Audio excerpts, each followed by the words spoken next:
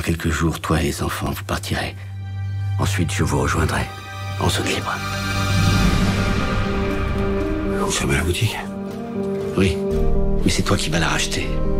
Moi, je peux pas parce que j'ai pas du tout les moyens. Si, parce que c'est moi qui vais te donner l'argent.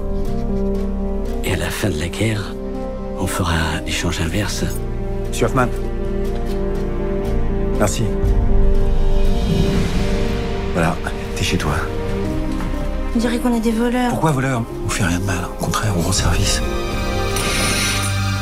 Monsieur Hoffman, qu'est-ce que vous faites là J'ai pas réussi à prendre le train. Les Allemands contrôlaient tout le monde. Ne vous inquiétez pas, monsieur Hoffman. Vous allez rester caché le temps qu'on trouve une solution. À ta place, je ferai attention. Je recommanderais votre travail.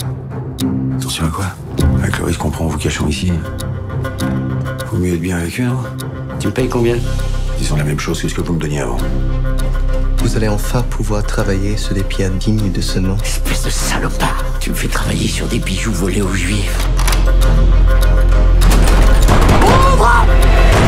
Soyez raisonnable. Remettez-vous au travail.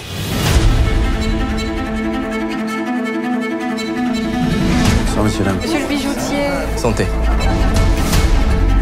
Tout ce que je fais, c'est pour toi, tu comprends? Ça, c'est pour nous protéger, nous. Arrête de me regarder comme ça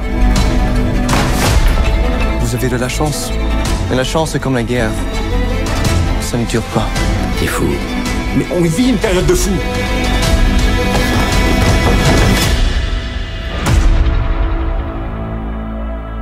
Vous n'auriez jamais dû lui proposer cette boutique. Avant, on n'avait rien, maintenant, il veut tout.